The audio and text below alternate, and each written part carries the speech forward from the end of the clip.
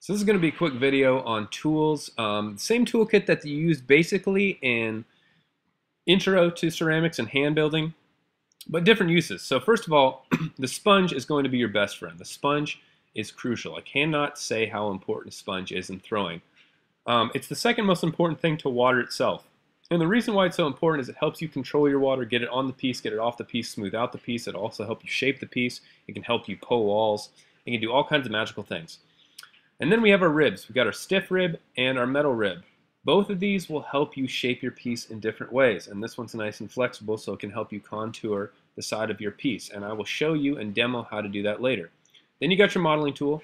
Um, not quite as useful as it is in hand building, but it will help you trim the bottom of the piece off and really get that off and scrape the skirt off, which is important. Uh, the ribbon tool we're not going to be using until we go to trim the base of the piece to make a foot rim. So during the actual throwing process, when you begin, you won't be using this guy very much, but it will be useful later. Then of course we have our pin tool.